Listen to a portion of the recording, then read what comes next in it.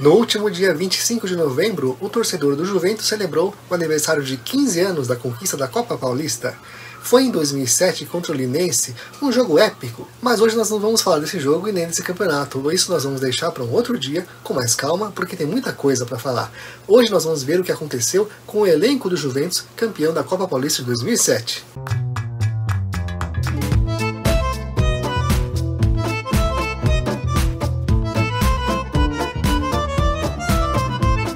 Amigos do Manto Juventino, começamos a nossa lista com o goleiro Marcelo. Marcelo Moreira foi ídolo do Juventus na primeira década do século XXI. Ele atuou no Clube da Moca em mais de 100 partidas por três passagens entre 2004 e 2011. Formado nas categorias de base do Palmeiras, numa turma que tinha nada menos que o Veloso, Marcos e o Sérgio.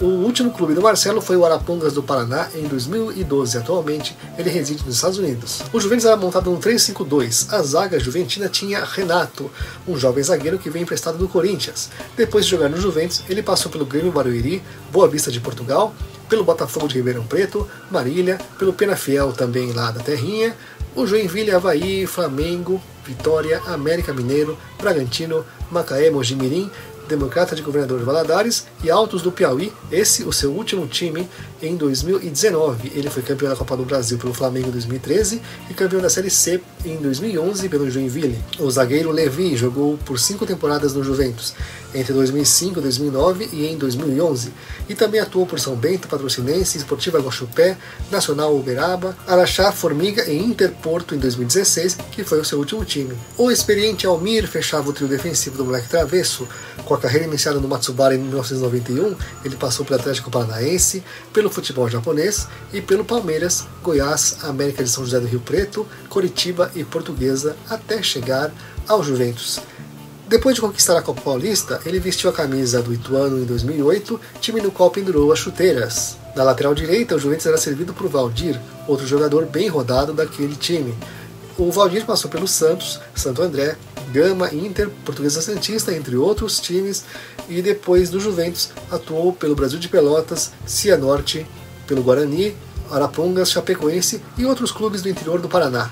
O seu último clube foi o J. Malucelli em 2014. Do lado esquerdo, João Paulo, Outro remanescente do elenco juventino campeão da Série A2 em 2005. Ele atuou pelo Moleque Travesso até 2008, jogou bastante no Juventus e ele foi o herói da final da Copa Paulista, ao marcar nos acréscimos do segundo tempo o gol do título. Depois da sua consagração na Moca, João Paulo rodou por muitos clubes, dentre os quais o Guarani, Bragantino, Red Bull, Brasil, Volta Redonda, Capivariano, Ituano, Água Santa e Sertãozinho, esse o seu último clube em 2017. Protegendo a defesa vinha Glauber, jogador com longa passagem pelo Guarani e também pelo Sport Recife e Fortaleza. Depois de atuar no Juventus, Glauber passou vários anos no interior paulista em clubes como o América, o Ituano, o União Barbarense e o 15 de Piracicaba, time que ele defendeu por mais de cinco temporadas. Ele jogou no 13, no Galícia, no Caxias, no Paranavaí e no Velo Clube também. Encerrou a carreira pelo Bangu em 2019. O meia Elias iniciou a carreira na base do Palmeiras. Sem espaço, acabou vindo parar no Juventus e foi o autor do primeiro gol da final, uma pancada de fora da área. E depois o Elias foi para o Corinthians, onde se destacou e chegou ao futebol europeu. No velho continente, defendeu o Atlético de Madrid e o Sporting de Lisboa. Também conseguiu convocações para a seleção brasileira. De volta para o Brasil, passou pelo Flamengo, novamente pelo Corinthians, Atlético Mineiro e Bahia, que foi o último time dele em 2020. O camisa 9 era o Johnny, o atacante juventino naquela final, que veio de empréstimo do América do Rio de Janeiro. Depois da Copa Paulista, o Johnny passou pelo Rio Preto, pelo Vila Nova, Bragantino e Maranguape, lá da terra do Chico Anísio.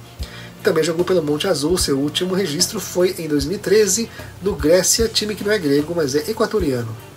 Cadu era o camisa 10 juventino na Copa Paulista de 2007. Ele defendeu o moleque travesso nos anos de 2007 e 2008.